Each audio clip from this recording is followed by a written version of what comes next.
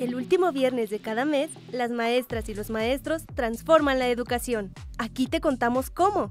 Maestras, maestros, directivos, supervisores y todo el personal que colabora en los procesos de enseñanza y aprendizaje del alumnado se reúnen el último viernes de cada mes en colectivo para tomar las decisiones que guían la enseñanza en cada escuela. ¿Para qué se reúnen?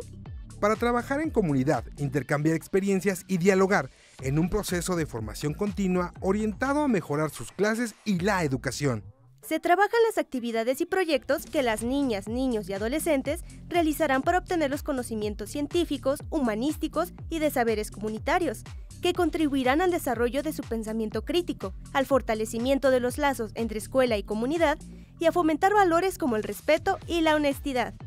¿Cómo se realiza?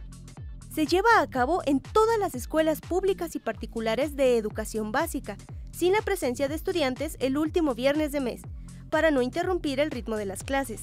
A lo largo del ciclo escolar 2023-2024 se realizarán ocho sesiones de Consejo Técnico Escolar. Recuerda, en el Consejo Técnico Escolar se, transforma, la educación.